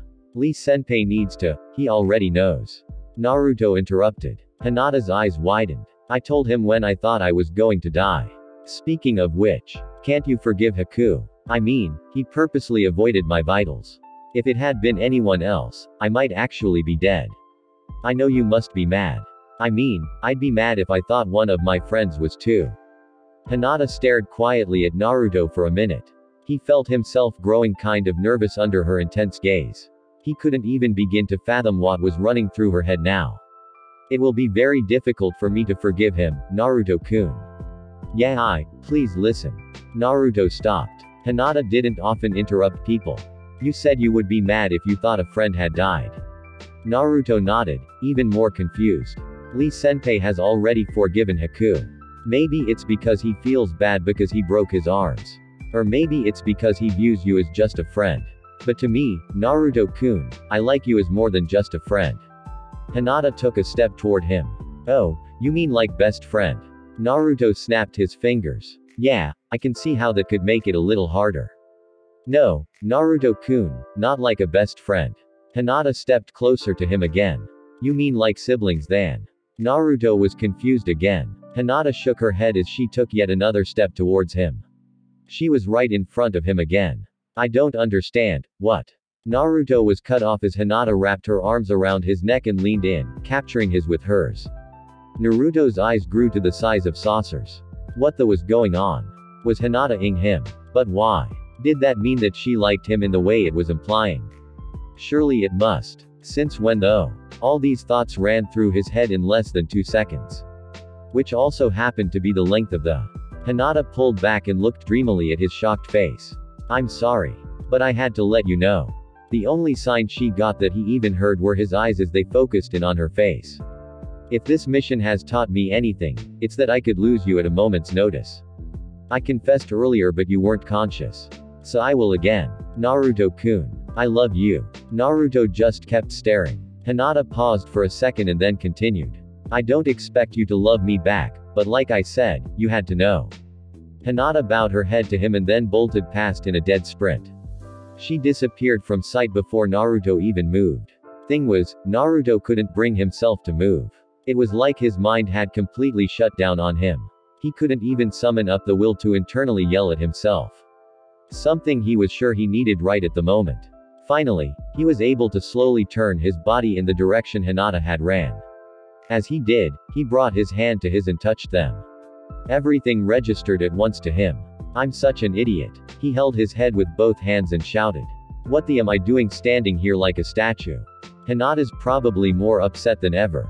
Wasting no time, Naruto took back off after her. He didn't know what he was going to say but he couldn't leave things the way they were. He could only hope he got to her before she ran into someone else. Naruto didn't get very far before he almost ran straight into his teacher. Naruto stopped short and tripped. Guy, who had been running on his hands through the forest, jumped to his feet and helped his student to his feet. Naruto. It warms my heart to see you keeping up with your exercise, but you must watch where you are going. A sprained ankle will ruin any ninja's day. Guy sensei, did you see Hinata run by? Naruto frantically looked to see if he could see her at all. He completely ignored what his sensei had said. Hinata. I haven't seen her since she left the house. I thought you would have found her by now. It's been a while. Guy's voice became laced with concern.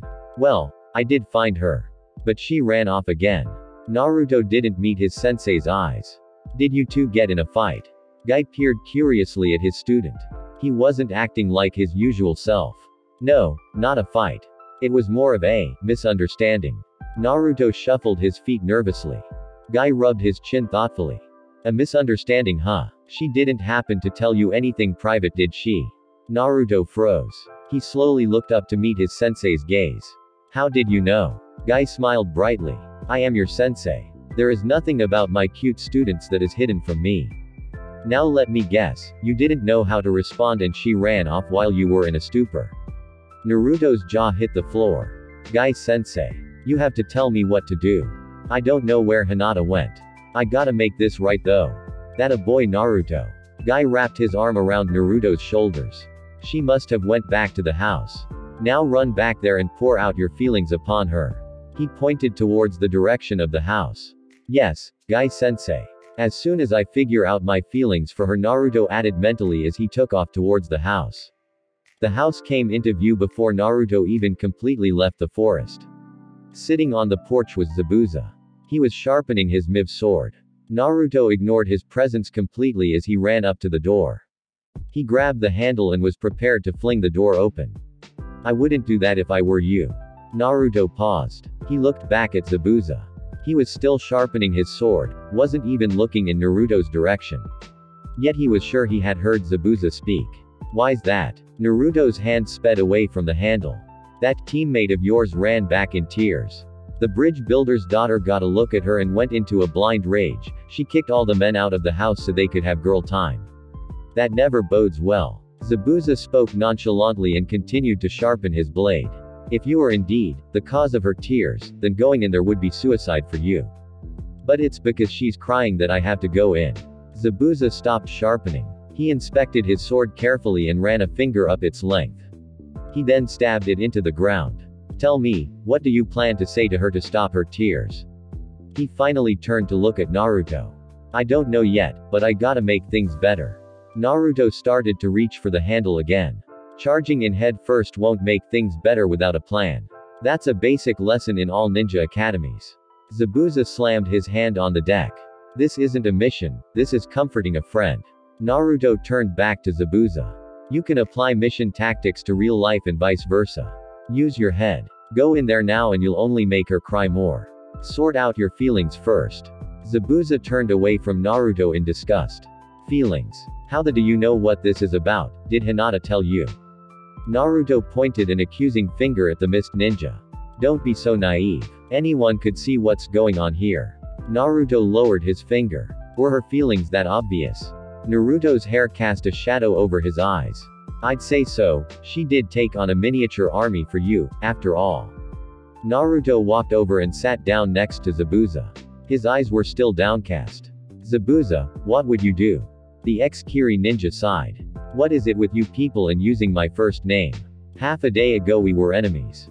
He glared at Naruto but he didn't react. Zabuza sighed again. How the should I know what to do? Being known as the demon of the bloody mist didn't exactly attract the ladies. Why don't you ask your other teammate? Naruto finally looked forward. You're right. I'm going to figure this out no matter what. Naruto stood up. Haku and that clone went to the docks to go fishing, you'll find them there. Zabuza gestured in the general direction they were at. Thanks a lot Zabuza. Naruto took off running. Quit using my first name. Or at least add an honorific. Zabuza shouted after Naruto as he ran away. Zabuza waited until Naruto was out of sight to stand up and pick his sword back up. It all. I really am getting too soft. Naruto arrived at the docks and started scanning down the line of them, looking for his teammate. Naruto. Naruto turned to see Inari running up to him. He had a board game in his hand. He stopped just in front of the blonde. Inari. What's up? Naruto rubbed his head affectionately. I'm borrowing this game from my uncle so grandpa and I can play. You heard what happened back at home. Inari held up the game to show Naruto. Yeah, I heard. Naruto shuffled nervously at the subject. So what brings you here Naruto? Inari was oblivious to the older boy's fidgeting. I'm looking for Haku and Lee. Naruto noticed Inari's eyebrows furrow a little. What's the matter? I don't get it. Inari said reluctantly. Don't get what? Naruto felt a little better. He wasn't the only one who didn't understand things today. How can you guys be some chummy with Haku and Zabuza? They tried to kill you. No one is that forgiving. Inari stared hard at Naruto waiting for an answer. Naruto smiled down at Inari. It's not easy to explain but here it goes. It's because we understand each other. Understand each other. Inari looked even more confused. When Gato betrayed Zabuza we had to team up to stay alive. When you fought with another person to stay alive a special bond is formed between you. You two share that bond with us as well. You just don't realize it. I guess I understand. Inari still looked a little miffed. If you don't like that answer then how about this one? Naruto offered. It's because we're guys. What's that have to do with it? This answer confused Inari more than before. We always get into fights. Sometimes those fights are with your best friends. After it's all over though, we laugh about it and move on. It's what guys do. Inari stared at Naruto for another minute. That's confusing. He finally said. Not nearly confusing as girls, trust me. Naruto patted Inari on the shoulder and walked past to continue his search. It didn't take him too long to find the two of them. They were both sitting at the edge of one of the many docks. Lee had a fishing line in the water and Haku appeared to be in some kind of meditation. Naruto approached quietly. Just as he got there the fishing line gave a slight tug. Haku's eyes popped open. Now Lee-san. Right. Lee pulled the line out with all of his strength.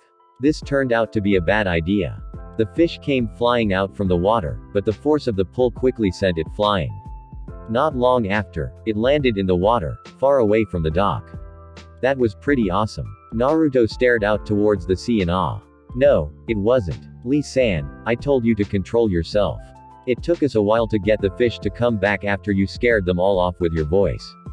Haku would have rubbed his temple if his arms weren't broken. I apologize, Haku-kun. Lee began to add a new worm to the line. I will get it this time. If not, I will catch 100 fish with my bare hands. Haku started at him quietly. Don't worry, he's always like this. Naruto plopped down in between them. Naruto. Have you come to clash wills with the fish as well? Lee cast the line back into the water. There won't be any fish to catch if you keep shouting. Haku mumbled, closing his eyes again. You meditating or something? Naruto peered at Haku curiously. I can feel the fish as they move through the water. It is easier to sense them with my eyes closed. Haku didn't even open his eyes to answer. That's cool, anyway, I came to ask for advice. Naruto scratched the back of his head as he turned back to Lee. Advice. What kind of advice do you need? Lee peered curiously at his teammate. Naruto was often too proud to ask for advice on things. Well, um, how do I put this? Naruto spun his hands around in the air as he tried to find the right words. How about I ask this? What do you like about Ayame Ne-chan? Naruto finally asked. She is an incredibly attractive woman. Lee didn't hesitate at all. She comes off stern but really that is just because she really cares about people. She is outspoken and lets me know exactly what is on her mind. I find these characteristics most youthful. I am most grateful to you for introducing us. Lee smiled brightly to himself. His thoughts of Ayame quickly pulling him from reality. Naruto scratched his chin. That didn't help at all, actually. Perhaps if Lee-san knew why you were asking, he could help give better insight. Haku threw out, eyes still closed.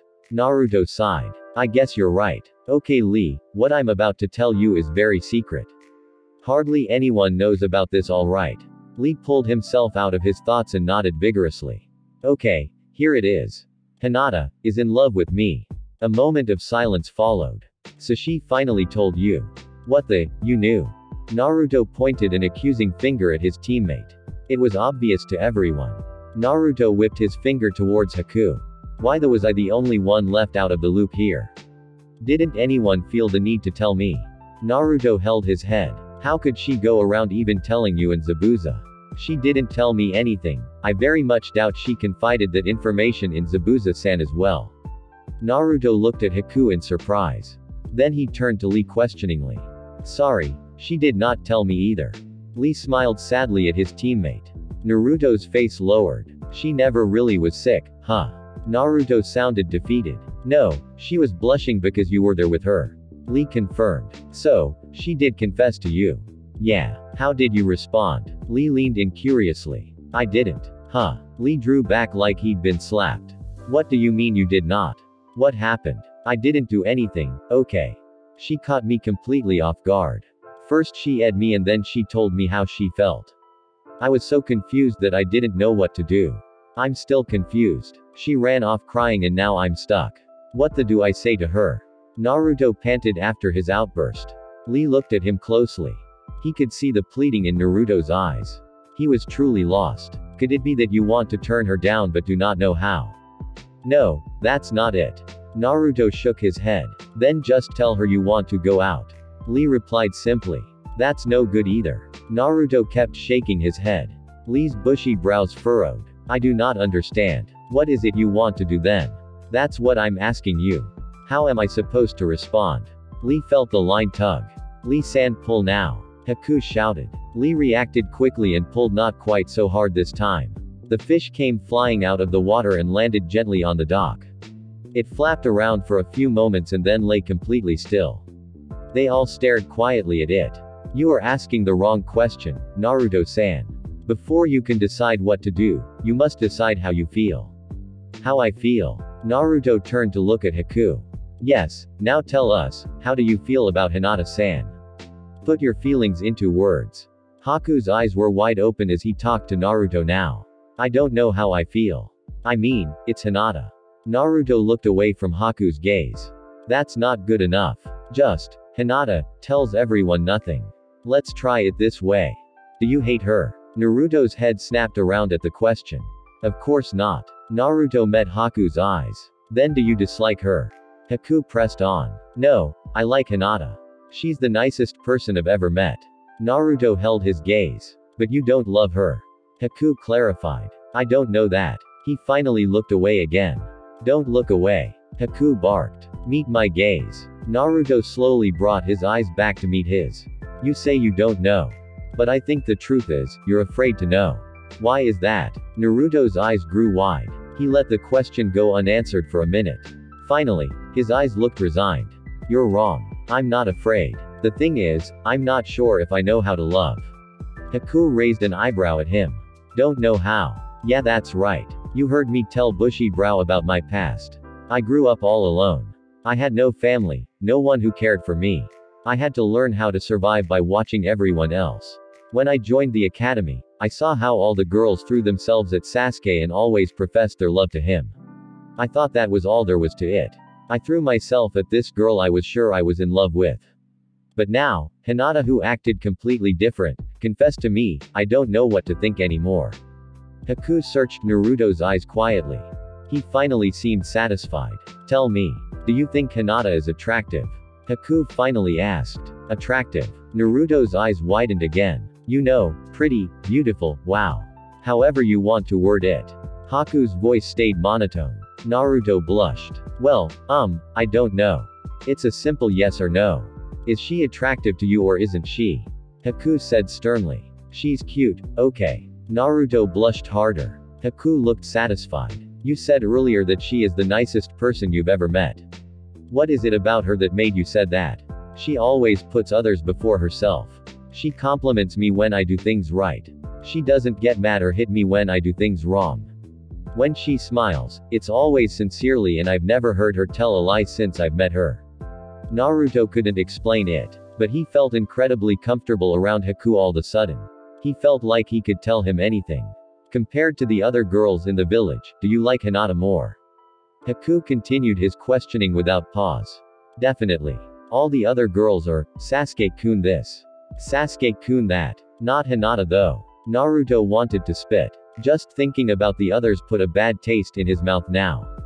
Suddenly it hit Naruto like a ton of bricks. He even felt that way about Sakura now. What the heck was happening to him? Naruto's internal confusion grew a little. How would you feel if Hinata started going out with another guy? How about this Sasuke-san you brought up? Lee watched with growing interest as Haku asked his questions. He was really getting to the point. Naruto felt his mind freeze. Hinata go out with Sasuke. Not possible. Naruto told himself more than the others.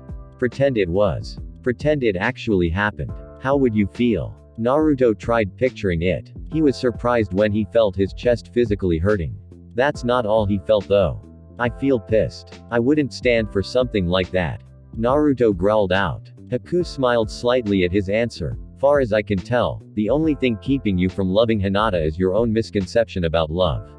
Haku said bluntly. Come again. Haku's smile dropped. You are concerned that you don't know how to love. That is all that is holding you back from opening yourself to your teammate. Haku said slowly. So you're saying, that I might already love her, I just don't know it yet. Naruto scratched his head in confusion. Close enough. Haku broke his eye contact and stood up. Naruto sat still for a minute, blinking rapidly the whole time. He finally stood up. Thanks a lot Haku. I think I know what to say now. I'll talk to you guys later. Naruto waved and then dashed off the way he had come. Lee, who had sat quietly the whole time, stood up and walked up next to Haku. What did you do to him? He asked. Oh, nothing much. I just got him to be honest with himself. Haku had a sly smile on his face. Now, let's get more fish.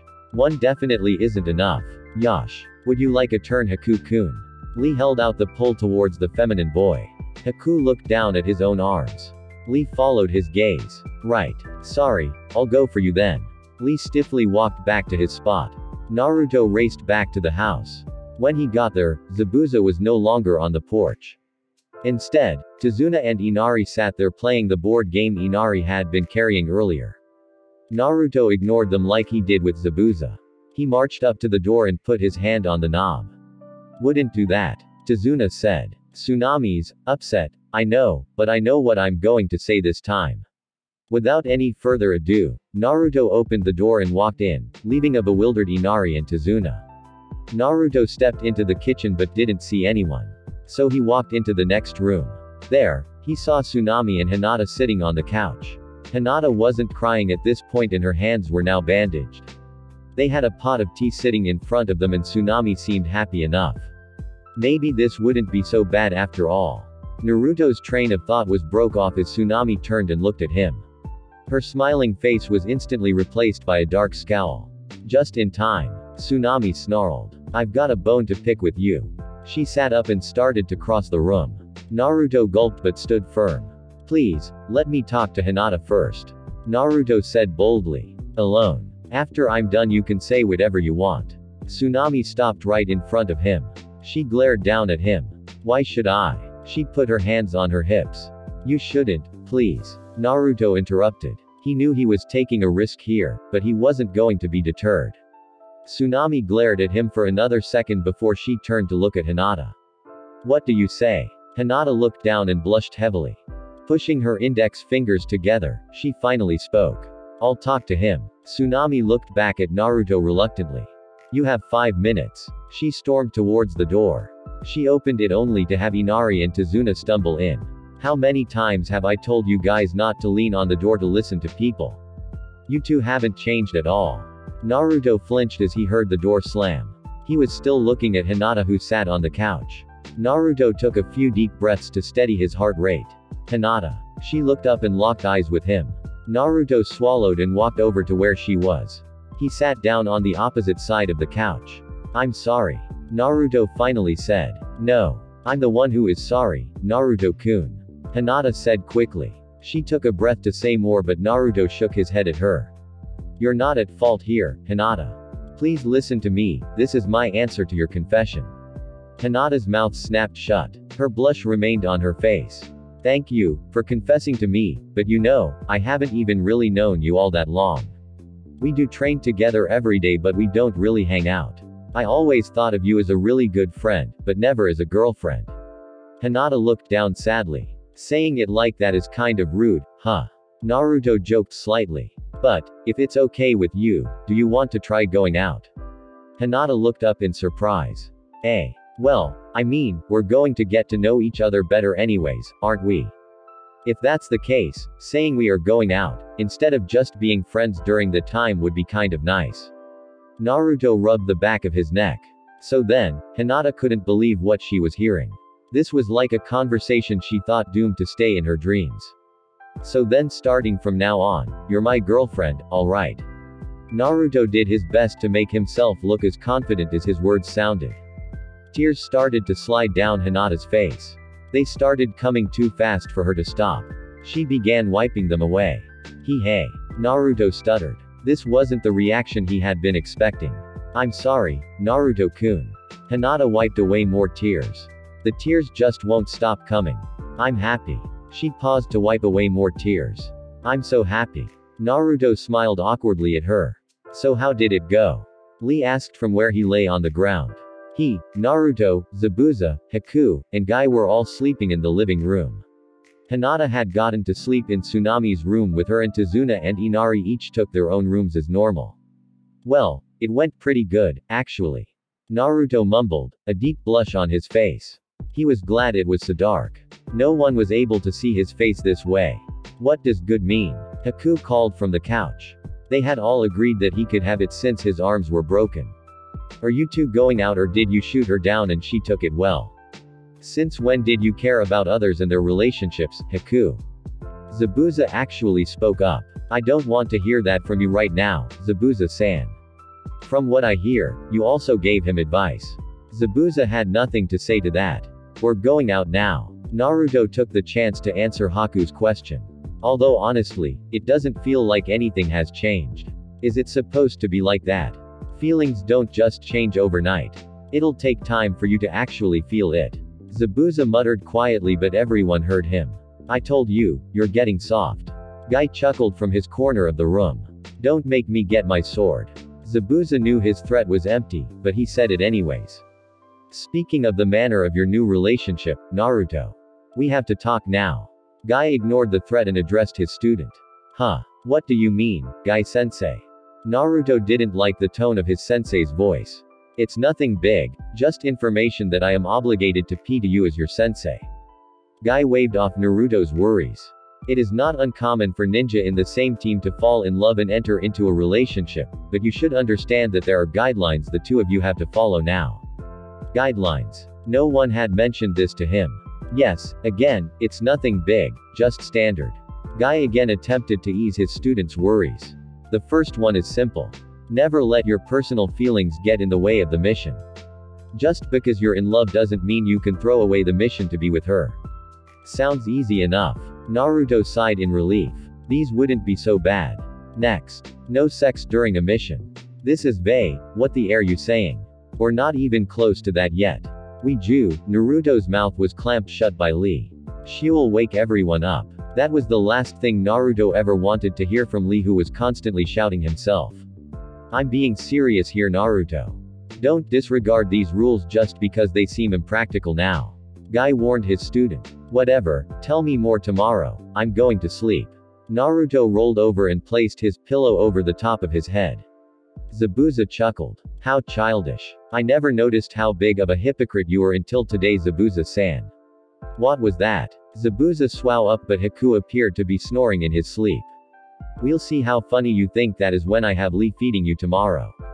Zabuza plopped back down. No one said anything else the rest of the night, but Haku did have nightmares about Zabuza's threat.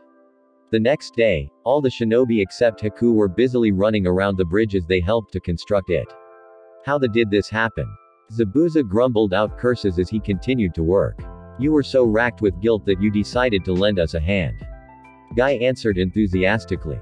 He was doing twice the workload of everyone else. No, I mean how come it is only a shinobi helping construct this bridge? What about the others in this village? What Zabuza said was true. Other than Tazuna, they were the only ones here on the bridge working on it. This village is a bunch of stuck-up jerks. That's what happened. Once I finish building this bridge for them, I'm moving out of this country. I'm sick of it. Tazuna continued to hammer away at the support beams. Why not move into Konoha? There were Narutos running around everywhere. This was the first time Guy had ever given him permission to make more than three clones. Konoha, huh? Tazuna stopped working and gazed at the sky as he thought. That doesn't sound half bad actually. You think they would be in need of a construction worker like myself. Tazuna smiled brightly at the thought. I'm sure that once we told them about how brave you are you would have job offers flying in from every company in the village. Guy boomed from the other side of the bridge. They might even try to make you a shinobi. Lee joked as he brought over a large sum of wooden planks. A shinobi, huh? Hey, I bet you if they did, it'd only take a couple months before they made me Hokage. Tazuna let out a big laugh as all the Narutos around him shook their heads. Speaking of bringing people back, what are we going to do about Zabuza and Haku-kun? Lee jogged up to his sensei as he asked his question. That's a good question. I would like to bring them back if we could, but we have to consider our relationship with Kirigakure after all.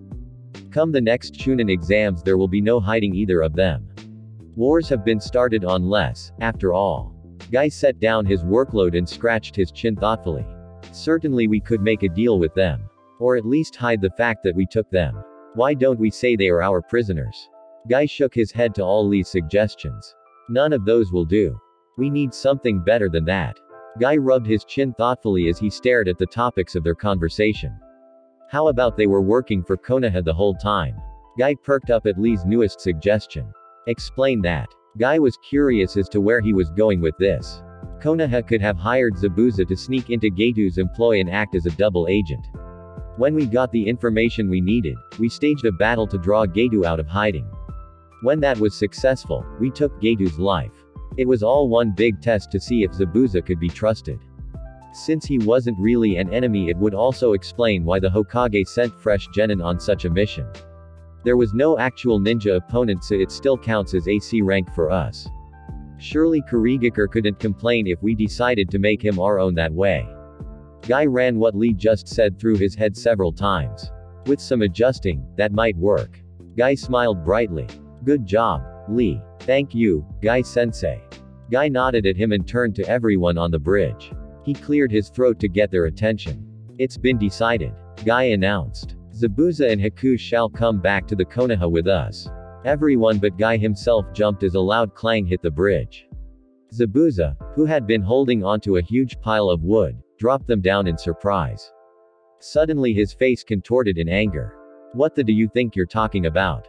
Why should I go back to the village with you? I will not be anyone's prisoner. I'll fight to the death first. Zabuza began to reach for his sword. Not as a prisoner. As one of us. Zabuza looked surprised. Haku also couldn't hide the emotion from his face. Guy began to explain Lee's plan to them. You mean, we could really be the shinobi of a village? Haku whispered in awe. That's right. The Hokage is a kind man. He'd agree to the plan in no time. It'd be easy to make it look true. A smile broke onto Haku's face. This was like a dream come true. He turned to Zabuza in excitement only to have his hopes dashed. Zabuza did not look pleased with the idea. What makes you think I want to join your village? I have a dream to become the Mizukage. I can't do that if I'm part of Konoha. Haku was right. Zabuza was not pleased. Not one bit.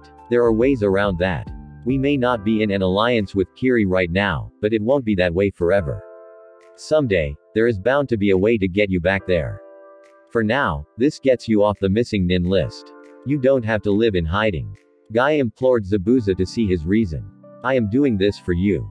You don't have to do anything for me. I've always been fine on my own. I don't need someone else now. I especially don't need an entire village. Zabuza spat. What the is Haku to you then? Naruto shouted this time. Zabuza had gone too far. Isn't he your friend? Haven't you relied on him for years? How can you say you don't need anybody? Haku is a tool, nothing more. What would you know? Zabuza glared at him. You don't believe that and you know it. You have a kind side but you're just afraid of showing it. But I saw it yesterday. You helped me out when I was at my worst. It's thanks to you that I didn't make things worse. Naruto panted from his outburst. Zabuza was about to respond but Guy cut him off. In the end of it all, you really were concerned about Haku. It had been you who bandaged his arm. It was you and finally fed him his food yesterday. He means something to you. Can't you see he wants to have a home? Can't you at least give him that? Zabuza didn't respond. He turned to look at Haku. For a minute Haku looked back at him but then looked away. I am to be used as you see fit, Zabuza-san. I exist solely for fulfilling your dream. Nothing else. Zabuza closed his eyes. Those were the words Haku had said to him when they fled from Kiri. When they had lost their home. Well said, child. Okay, we'll go to Konoha. Haku spun around to look at him in surprise. You need time to heal somewhere. Besides, they have numerous training grounds. You can become truly strong there and together we'll make my dream a reality.